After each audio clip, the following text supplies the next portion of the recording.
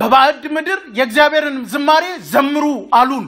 በባቢሎን ውስጥ የእግዚአብሔር መዝሙር በባዕድ ምድር ማለት ምን ማለት ነው? ባልዳነ ሕዝብ መካከል አይዘመርም። ምን ያህል ተቆጥቶ ነው የእግዚአብሔር ሰው ይሄን የጻፈው?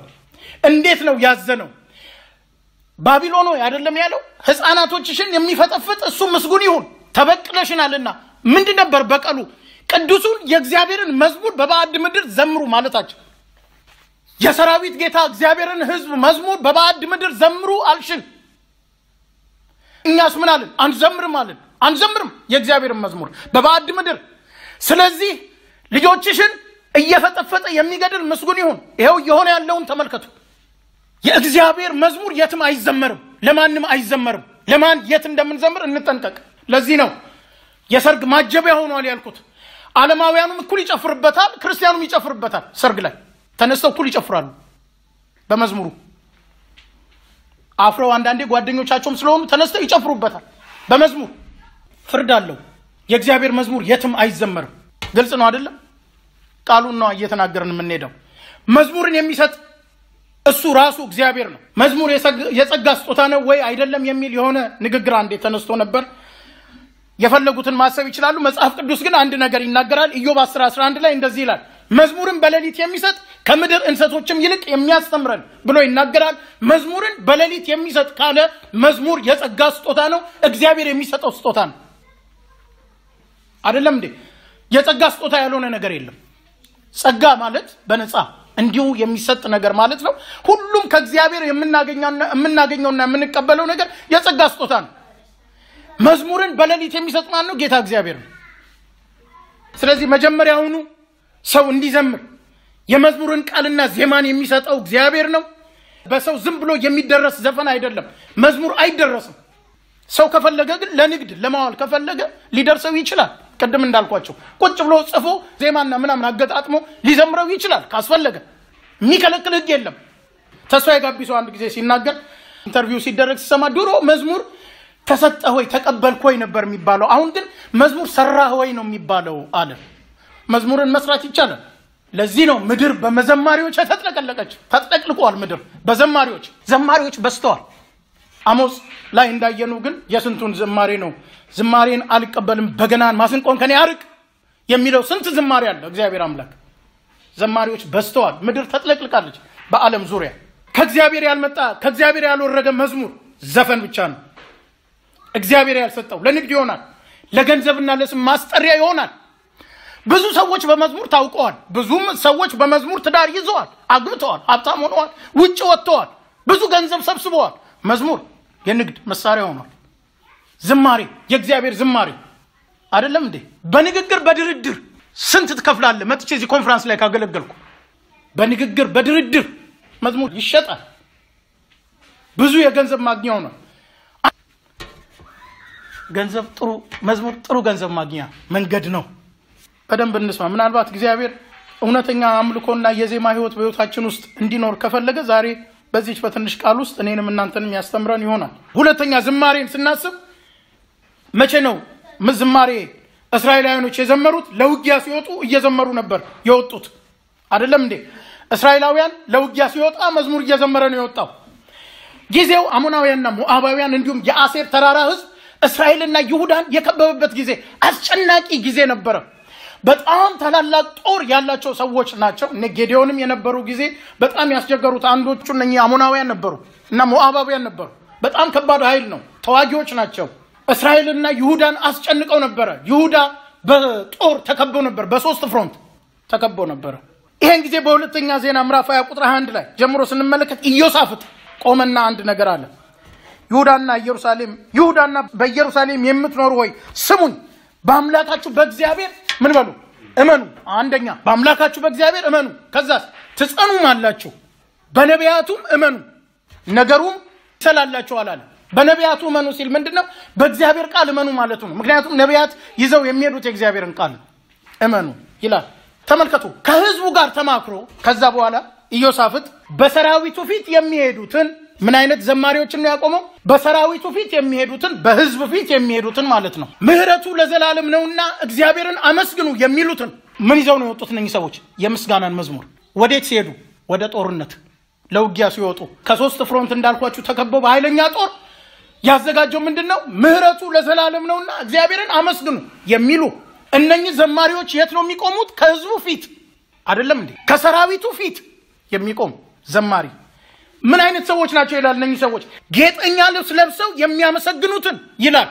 ጌጠኛ ልብስ ብሎ የሚናገረው ምን ማለቱ ነው? እንደ እግዚአብሔር ፈቃድ፣ እንደ እግዚአብሔር ሐሳብ በእግዚአብሔር ፊት የሚሄዱ የሚገቡ፣ የሚወጡ አንድ ሁለተኛ ንጽህናና ቅድስና ያላቸው ሰዎች ማለቱ ነው። ጌጠኛ ልብስ ብሎ የሚናገረው አይደለም እንዴ? መዝሙርን ማንም ሊዘምረው ይችላል? አይችልም? ይችላል፣ ግን የትም አይደርስም። ቅድም እንዳልኳቸው መዝሙርን እውነተኛ አምልኮ ያለበትን መዝሙር ለመዘመር መጀመሪያ ጌጠኛ ልብስ መልበስ ያስፈልጋል። መጽሐፍ ቅዱስ ሲናገር ራእይ ላይ ልብሳቸውንም በበጉ ደም አጥበው አነጹ፣ ሌሊትና ቀንም ምን ይሉታል? በመቅደሱ ያመልኩታል። ልብሳቸውን አጥበው በበጉ ደም መጀመሪያ አነጹ። ያለ ንጽህና የሚዘመር መዝሙር የትም አይደርስም። ለምን ዘመናችንን ሙሉ 24 ሰዓት ሙሉ ስንዘል አንውልም? የትም አይደርስም። እስላም ሊዘምር ይችላል፣ ዘምሮም ያውቃል። ጉባኤ ገብቶ ፓ እግዚአብሔር ከዙፋኑ ተነስቶ ሊሰማው ጆሮም አይደርስ። ጌጠኛ ልብስ የለበሱ ስለ ውስጥ ውበት፣ ስለ ውስጥ ንጽህና፣ ስለ ውስጥ ቅድስና ነበር የሚናገረው። እግዚአብሔርን የሚፈሩ ሰዎች አይደለም። እዛ አካባቢ የድሮ ኳየር እነዚህ የነበሩበት ኳየር ውስጥ ማንም መዘመር አይችልም። በመጀመሪያ ደረጃ ማንም ኳ እያደረገ ነው እግዚአብሔር የሚያወጣው። ኳ አንድ ባንድ እየነቀለ ነው የሚያወጣው። ማንም መቆም አይችልም። የዛሬን ኳየር ተዉት። ሶስት ሚስት አግብቶም ሊዘምር ይችላል። ሶስት ሴት እያለው ምንም አይልም እግዚአብሔር። ለምን? የጸጋ ዘመን ነው። ውስጡ ግን በትል ይበላል። ለእግዚአብሔር የሚዘምሩለትን በመጨረሻ መዘምራን አቆመ። ለማን? ለእግዚአብሔር የሚዘምሩትን መዘምራን አቆመ። ለማን ነው መዝሙር የሚዘመረው? ለእግዚአብሔር። ሰልፉ የማን ነው? የእግዚአብሔር። ህዝቡ የማን ነው? የእግዚአብሔር። የሚሰለፉት እነማን ናቸው? የእግዚአብሔር ህዝቦች።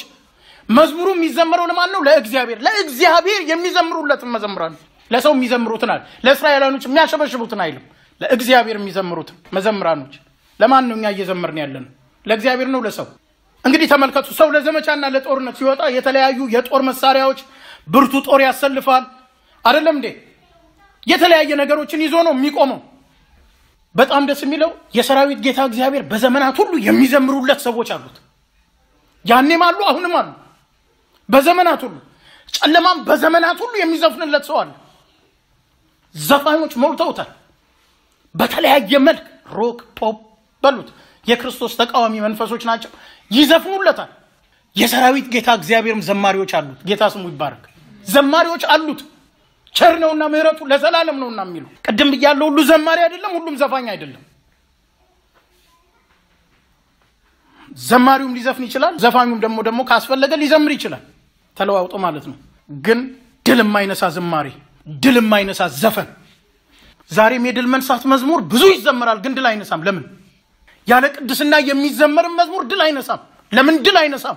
ስንት የድል መዝሙሮች እንዘምራለን። ከበር ስትወጣ በካልቾ ይልሃል ጨለማ። ድል ነሳን ድል ነሺ ድል ነሳን ድል ነሺ ብለን ዘምረን ማለት ነው። እንደ ሞአብ እንደ አሞን እንደ ሴር ተራራ ህዝብ አፍንጫው ድረስ የታጠቀን ህዝብ በብዙ ሺህ የሚቆጠርን ጦር ይዞ እወጣ ጠላት ፊት ለመቅጠም የወጡት በምንድን ነው?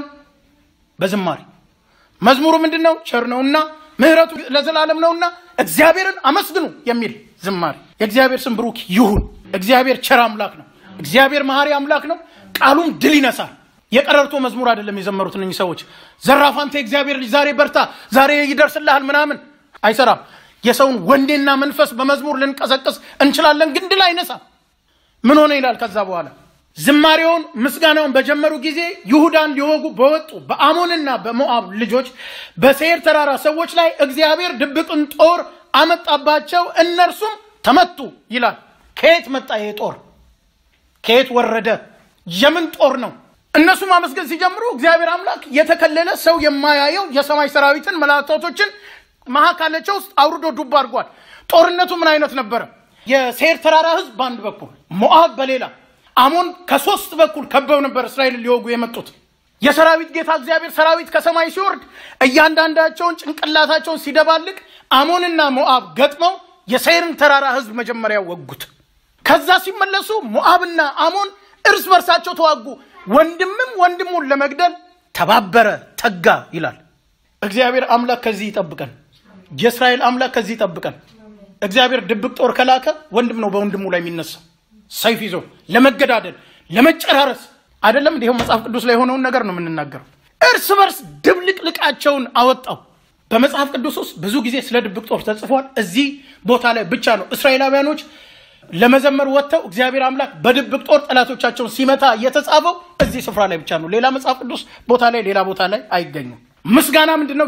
የእግዚአብሔር ኃይል ነው። ዝማሬ የእግዚአብሔር ኃይል ነው። እንደ ጦር እታጠቀ ጠላት ፊት ከበሮና ማሲንቆ ወጥተህ ምስጋና ምስጋና ስትል እግዚአብሔር አምላክ ከሰማይ መላእክቱን ዱብ ያደርጋል።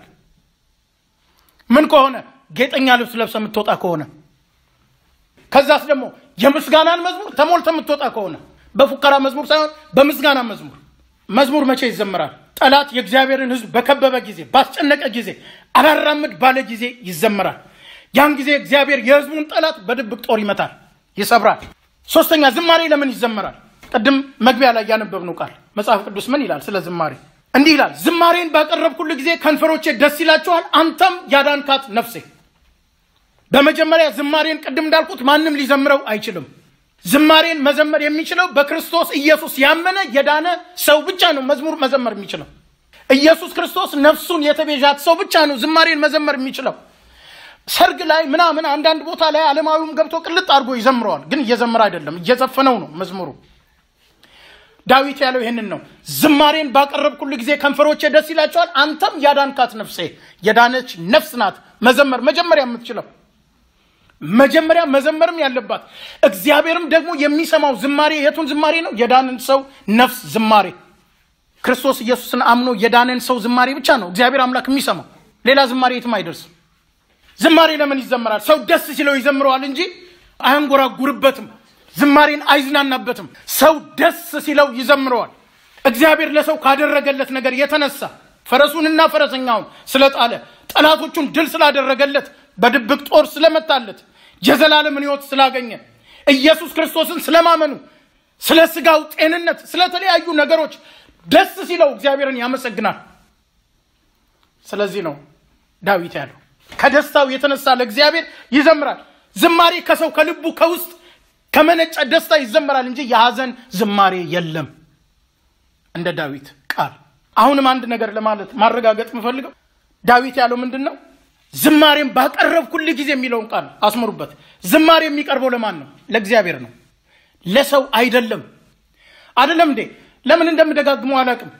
ለሰዎች ለመዘመር አንሞክር፣ ወይንም ሰዎችን ለማስደሰት ለመዘመር አንሞክር።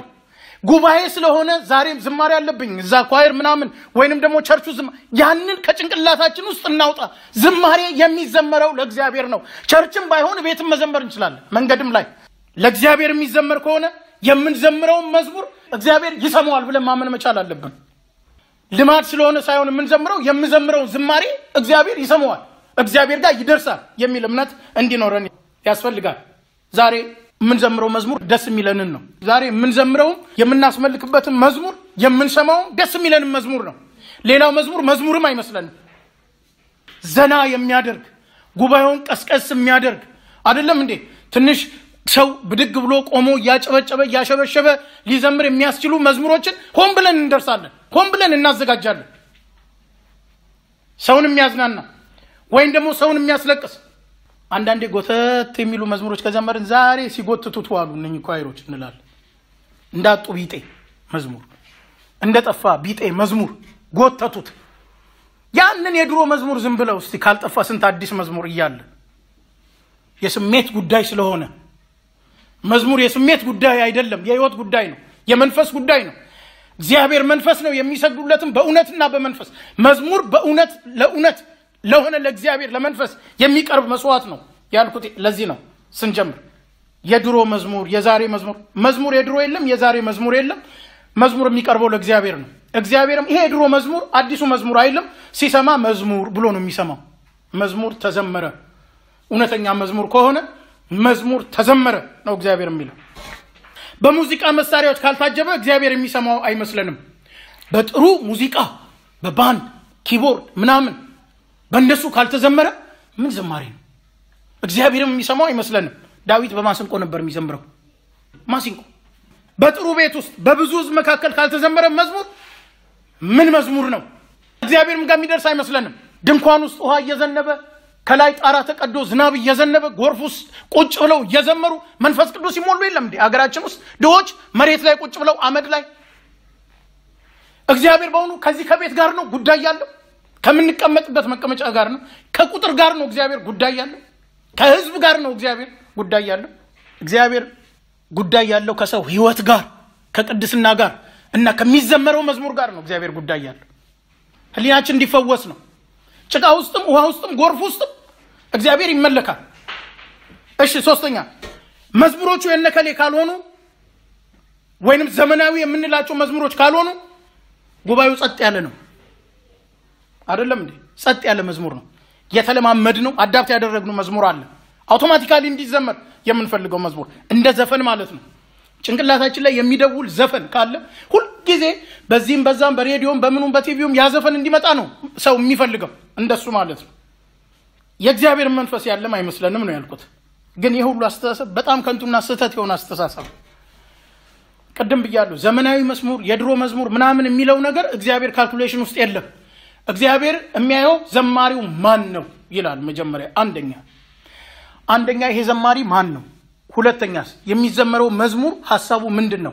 ከዛ ጋር አያይዞ ነው እግዚአብሔር መዝሙሩን እንደ አምልኮ ወይንም ለእሱ እንደቀረበ መስዋዕት አድርጎ የሚቀርበው የሚቀበለው እንጂ ዝም ብሎ አይቀበልም። እግዚአብሔር ዝም ብሎ አይጎሰብስም። አይደለም እንዲ አደራፋሽ አይደለም እግዚአብሔር መዝሙር ነው። እግዚአብሔር ስሜ ተጠርቷል፣ መንፈስ ቅዱስ ተብሏል፣ ኢየሱስ ምናምን ተብሏል፣ አግበስብሰው አይልም። የለም የለም፣ እንደዚህ አይነት ነገር አይደርስም። እዛ እንኳን ሰማይ ላይ ፊቱን ጋርዶ ምናምን ነው ቅዱስ ቅዱስ እያለ የሚዘምረው በብዙ ቅድስናና ንጽህና። ሰው መሆናችን የእግዚአብሔርን ቅድስና አይጎድለውም፣ አያወርደውም። የእግዚአብሔርን ማንነት አይቀይረውም። ሰው መሆናችን አይ እነሱ መልአክ ስለሆኑ ነው። ለእኛ ነው ከመልአክ የበለጠ ብዙ የተደረገው አይደለም። ሌላ የሙዚቃ መሳሪያዎች የመዝሙርን ሌቭል ከፍ አያደርጉትም ወይም አያሳንሱትም። ወይንም የሙዚቃ መሳሪያ የመዝሙሩን ቃል ኃይለኛ አያደርገውም ወይንም መሳሪያው የመዝሙሩን ቃል አያሳንሰውም። ተራ መዝሙር ተራ መዝሙር አስር ሰላሳ ጊዜ የሚደጋገም ተራ ቃል ልበለው በሰው አባባል ሙዚቃና ምናምን ስለተባለው ብቻ ግማሽ ሰው ይዘምረዋል። እንኳን እግዚአብሔር ሰውን የሚሰለች መዝሙር ማለት ነው። ሙዚቃ ስላለው ብቻ የመዝሙሩን ቃል ከፍ አያደርገውም። የሙዚቃ መሳሪያ ብዙ ጊዜ የሰው ጭንቅላት የተያዘው ከሙዚቃ መሳሪያዎች ጋር ነው። እዛ ላይ ነው የተያዘው። ወይንም የመዝሙሩን ቃል ዝቅ አያደርገው። ምክንያቱም የሙዚቃ መሳሪያ ራሱ ራሱ በራሱ እግዚአብሔርን ያከብራልና ሙዚቃ መሳሪያ ራሱ እግዚአብሔርን ያከብራል። ለዚህ ነው ዳዊት በመዝሙር 150 ቁጥር 3 አራት ላይ እንደዚህ ያለው የመጨረሻ ቃሉን መዝሙሩ ሲዘጋ አካባቢ በመለከት እንዲህ ያለው በመለከት ድምፅ አመስግኑት፣ በበገናና በመሰንቆ አመስግኑት፣ በከበሮና በዘፈን አመስግኑት፣ በአውታርና በእምቢልታ አመስግኑት አለ። በእነዚህ የሙዚቃ መሳሪያዎች እግዚአብሔርን አመስግኑት። የሙዚቃ መሳሪያዎች በራሳቸው እግዚአብሔርን ያመሰግኑታል። አይደለም ሌባ ሰርቆ ነው ዛሬ ይኸው ለራሱ የሚያሽከረክረው ዓለምን ሌባ ስለሆነ ሰርቆ ለእግዚአብሔር የተቀባው መሳሪያ የሙዚቃ መሳሪያዎች እንኳን ብቻቸውን ለእግዚአብሔር ክብርና ምስጋናን ማምጣት ይችላሉ ነው ያልኩት። ብቻቸው ብቻቸው ያለምንም መዝሙር ክርስቲያን የሚጫወታቸው ከሆነ ከመዝሙር ጋር ሲሆን ደግሞ ተዋህዶ አይደለም እንዴ ለእግዚአብሔር ጥሩና ግሩም የሆነን አምልኮ ማድረግ ይቻላል። ቃልና ዜማ ዝማሬ አብሮ ሲደባለቅበት ማለት ነው።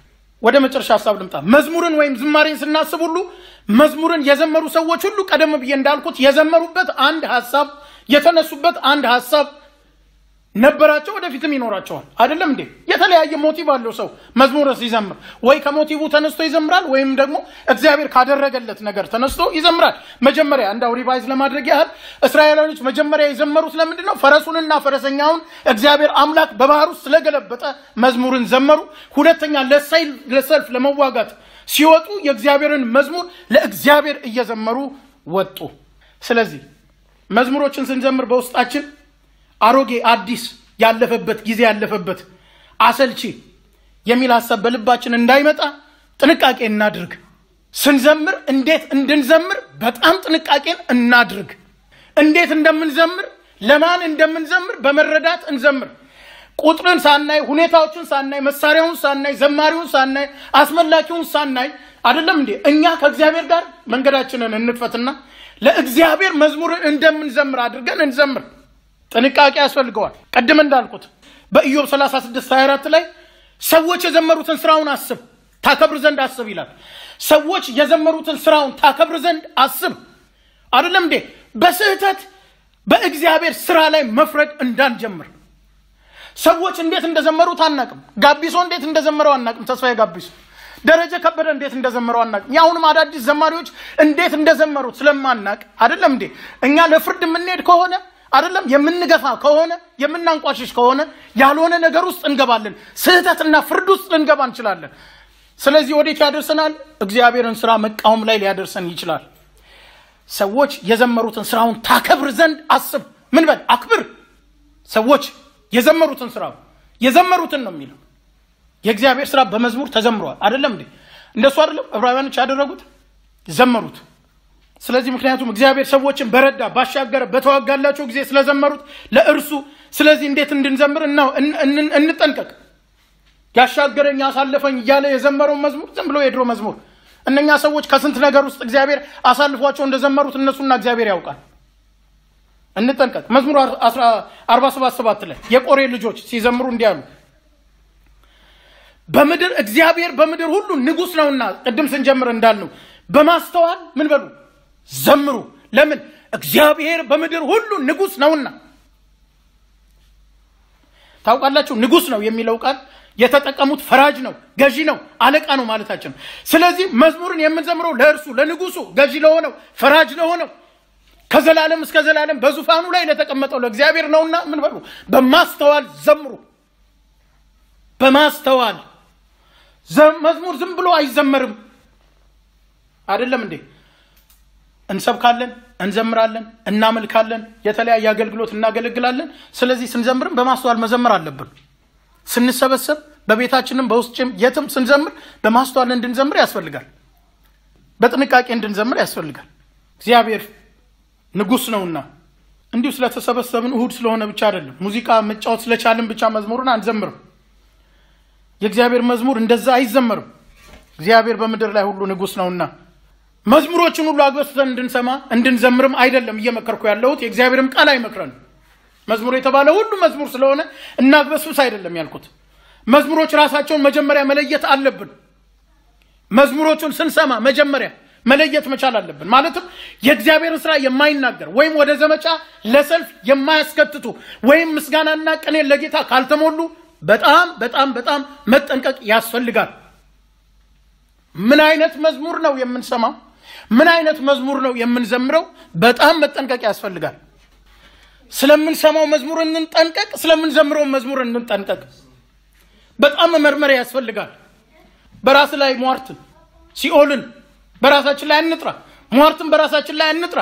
ከአመድ ያነሳኸኝ ከትቢያ ያነሳኸኝ ተንደላቆ በእናትና በአባት ቤት ሀብታም ሆኖ ያደገ ሰው ከጭቃ ላይ አንስተኝ ለእግዚአብሔር ክብር አይሆንም። እግዚአብሔር ክብር ላይ አይውልም። እግዚአብሔር አይሰማውም።